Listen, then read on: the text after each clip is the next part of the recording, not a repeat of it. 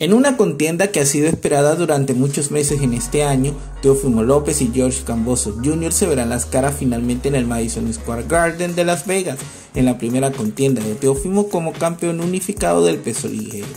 El Ferocious australiano llega como retador con un récord de 19-0. En su última contienda derrotó a Lee Shelby en 2020 desde el Wembley Arena y en su actitud y declaraciones previas ha mostrado sus ganas de destronar a Teófimo.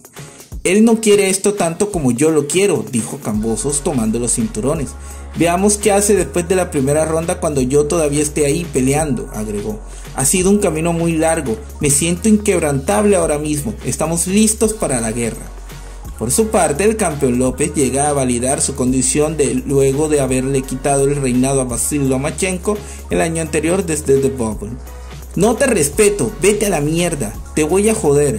Esto es el Madison Square Garden, esta es mi casa, haré un espectáculo para todos, precisó López. A su vez, en días anteriores, sus padres se cruzaron en un gimnasio, intercambiaron unas cuantas palabras entre gritos y casi adelantan la pelea. Gracias por ver este video y suscríbete en nuestro canal Boxeo de Colombia. Nos vemos en la próxima.